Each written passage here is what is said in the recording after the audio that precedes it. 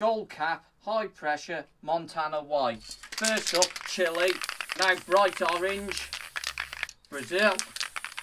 Bit of white, then time to crack it up. Let's put some heat on this.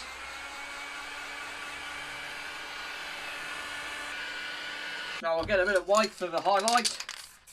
Not much. And a bit of black at the bottom for a bit of shadow on it. Lid on. Black background. Bit of chili. A bright orange. Bit of Brazil. Bit of white. White first stars. Flick, flick, flick, flick. Let's sign a painting.